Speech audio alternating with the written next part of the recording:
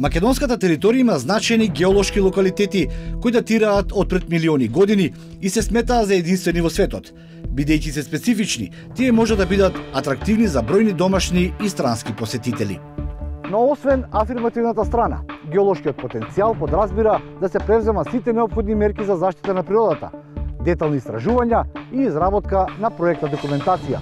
Геолошкиот потенцијал може да биде поголем или помал, но во секој случај не е неисцрпен и мора да се знае дека постои опасност од уништување.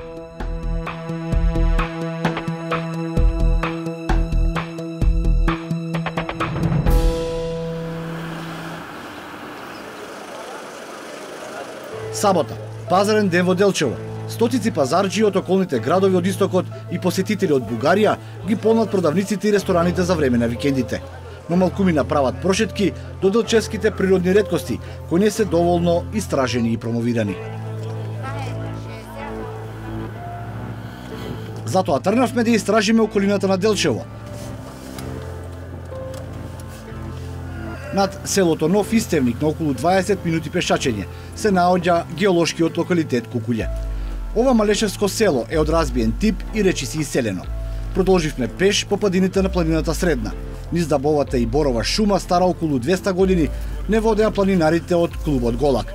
Патеката не беше обележена и уредена за потенцијалните посетители. Овде биодиверзитетот е различен, бидејќи на подрачето на планината Средна а, постои а, различен дивеч, како што е волци, лисици, диви зајаци, а, потоа дива свиња има, Исто така е многу интересно што овде на оваа подраче се среќава а доста често и орелот, кој што се поредко го има во овој крајен дел на Источна Македонија. Уште колку имаме до Кукулјето? Вака, до Кукулјето имаме некаде 70 до 80 метри. На околу 850 метри надморска височина, сместен како во дупка во шумата се појавува импонзантен одсек длабок 60 на метри, со карактеристични форми на камени фигури во него. Ова е кукуљето. 50 на земени столбови, високи до 15 метри, настанале со вековната ерозија на карпите. Но планинарите велат дека оваа природна редкост малкумина ја знаат и не е често посетувана. Сите оние кои што ќе дојдат прв пат да ги видат овие природни редкости и стемнички кукуле, навистина се воодушевени, дури изненадени, бидејќи до сега имаше мала промоција на, на оваа редкост, меѓутоа кога прв пат ќе дојдат, а, посакуваат значи повторно да ги посетат, дури да скажуваат на своји блиски, пријатели, роднини и така натаму, и тие да доаѓаат да ги посетуваат, бидејќи на вистина има што да се види и на вистина вредат. Овие праисториски животни живееле на територијата на денешно Делчево пред милиони години – Атарот на Делчевското село Стамер стана значајно на светската палеонтолошка карта, откако беа пронајдени фосилни остатоци од единствен вид на гигантска пражирафа, хипарион, предок на конјот, мастадонт, дива свиња и други животни. Сепак Љубе Митевски е еден од редките кои истражува што крие утробата на земјата во околината на неговото село. Тој е рударски инженер и ги открил првите фосилни остатоци пред 12 години – раскажува дека во Стамер доаѓаат палеонтолози, истражувачи и новинари од странство кои потврдиле дека се работи за единствена масовна гробница на праисториски животни, првпат откриени во Европа, која датира од пред 10 милиони години. Бидејќи бех, бех ископал одредени наоди од жирафата, ги пратив со заби делови од черепот на неистата, пошто за кратко време дојдоа екипи од Природонаучниот музеј и и од Природонаучниот музеј во Софија и и од Природонаучниот музеј во Париз. Тука се извадени е, фрагменти и делови од черепи на повеќе животни кои се од датирани како пикерниска фауна, која е значајна по старост од околу 5 до 8 милиони години. Тие се животни мастодонти, хипариони, хиени, елени, диви свињи. Палеонтолошкиот локалитет Стамер не е воопшто обележан и никаде не е назначена неговата важност. Тој е загрозен и од геолошките истражувања кои треба да ги утврдат точните резерви на јаглен во Делческиот басен. Доколку се ископува јаглен, постои опасност фосилните остатоци да бидат уништени.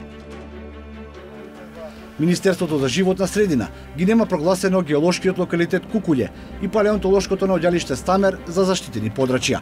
Со нив треба да управува општина Делчево, но градоначалникот вели дека нема пари за нивна заштита и уредување. Верувам дека со поголем ангажман на Министерството за култура и Министерството за животна средина ќе успееме овие пронајдоци да ги промовираме и ние како локална самоуправа, се со цел да имаме еден нов туристички производ и тој туристички производ да биде во функција на целата туристичка понуда и на нашата општина Делчево, но и на целиот овој источен регион.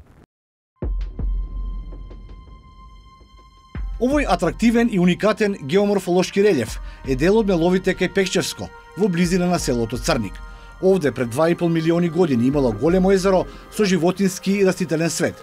Со векови се таложел езерски материјал од кој настанале дебели наслаги и се формирале карактеристични седиментни карпи. Како што минувало времето, климата се менувала, па и наслагите добивале различна боја, форма и димензија. Така денес природата извајала величествени амфитеатрални форми кои наликуваат непресечена инка.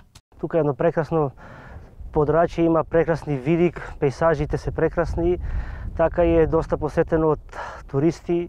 Кој најчесто го ги посетува меловите? Па доаѓаат пред се планинари, научници доаѓаат на истражување, има и така љубители на природата и други сите добронамерници кои сакаат да ги видат овие убавини. Ние се трудиме, ги покажуваме, ги доведуваме тука и тие ги гледаат, ги фотографираат, се интересираат како настанале, како дали се заштитени, дали се истражувани. Меловите во Црник имаат посебна вредност поради својата редкост и репрезентативност, но и тие не се заштитени како споменик на природата од Министерството за животна средина, а од општината Пекчево вела дека се уште немаат планови за управување со нив. Стручњаците сметаат дека геотуризмот е можност за развој на источниот регион, ако се нуди заедно со планинерењето, планинскиот велосипедизам, сафари со джипови и други видови разгледување на природата. Она што досега е направено е само мапирање на локалитетот и негово соодветно означување кое што е тековно во рамки на еден проект кој што го спроведуваат партнерски општините Берово, Пехчево и Делчево, а се однесува на промоција на природните ресурси од аспект на одржлив туризам. Секако во следниот период ова овој локалитет треба внимателно да му се пристапи, Значи, може да, да е интересен и за студиски посети на истражувачи, и на студенти, и за љубители на природата, меѓутоа да не се придонесе негово нели нарушување, да се задржи во оној облик како што го имаме, да се внимава на неговата одржливост. Ќе биде една дополнителна можност да како туристички потенцијала се разбира и за социоекономскиот развој на нашата општина. Меѓутоа, кога покрај оваа програма ќе гледаме да ги вметнеме и овие а, меловите за кои што разговараме затоа што и тие се прекрасна атракција кои што а, не идуваат на воодишување од на а, сите посетители кои што го посетуваат а, нашиот крај.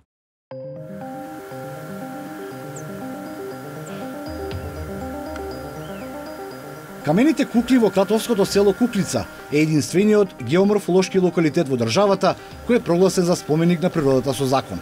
Тие се најмаркантните карпеси столбови во земјава, стари над 50.000 години.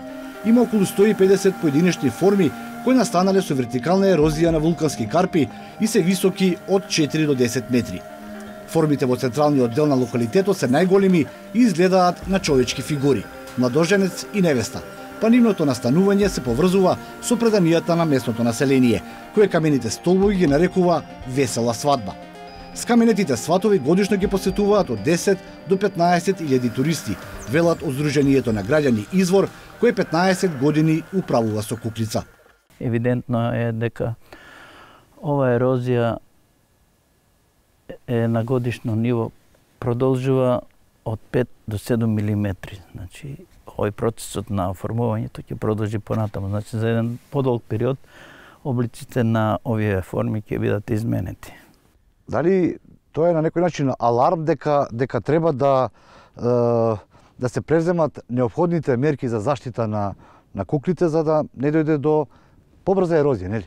Имаме сознание дека за да се заштитат овие форми како што се сега да останат со истиот облик, има хемиски средства кои се убризгуваат неприметливо за око и остануваат овие заштитени без да без да ерозираат.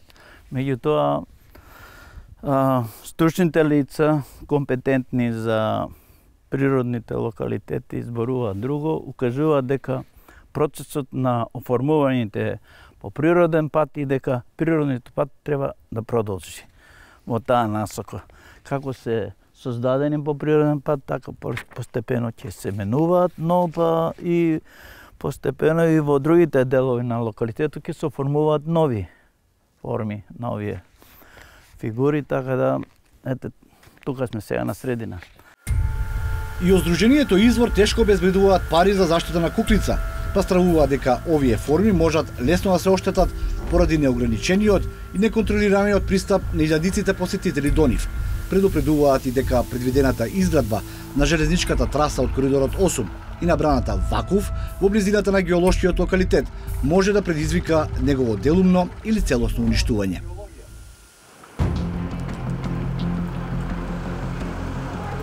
Минералните суровини се исто така несомнено богатство на геолошкото наследство. Сепак, единствениот минералошки музеј кој се наоѓа во Пробиштип не работи. Колекцијата од 250 експонати била грижливо собирана 50 на години. Кристализирани минерали, вулкански камени топки, вулканска лава, стари рударски алатки и други експонати. Денес тие само тежат во старите витрини и нема кустос кој ќе раскажува приказната за градот на рударите пробишти. Дивна Стојановска е геолошки инженер во пензија и таа била последниот раководител на минералошката поставка. Градот Пробишти потекнува и е формиран од рударите. Така да секоја рударска фамилија која работела во рудникот во своите домови поседува минимални збирки. Јас верувам дека во иднина секој само иницијативно би донирал. Така за да остане на идните поколенија. Како спомен, за да се едуцират луѓето, да бидат на лице место со увид. Што е минерал, што е кристал, што е карпа. Државните истражувања на минералните суровини драстично се намалуваат во континуитет од 1990 година, а денес истражувањата ги изведуваат главно страски компании кои добиваат концесии за геолошки ископувања. Меѓутоа, во Националната стратегија за заштита на природата предупредуваат дека се доделени премногу концесии за експлоатација на минерални суровини. При експлоатација на секој рудник првенствено треба геолошки истражувања со кој ќе се види напредокот на рударењето, откупувањето на самата руда и да нема нагли откупување на богати делови од лежиштето, перманентно да се откопува. Јас мислам дека и сите концесионери тоа ќе го спазат во едина. Македонскиот геолошки релјеф е многу специфичен бидејќи на кратко растојание може да се најдат од геолошки најстари до најмлади карпести маси, а некои се сметаат и за единствени во светот. Во рудникот Алшар се откриени единствени минерали. Слатински извор е една од подолгите пештери во Европа. Влезот на пештерата Пешна е меѓу најкарактеристичните во светот, а локалитетот Маркови кули има уникатни геоморфолошки форми.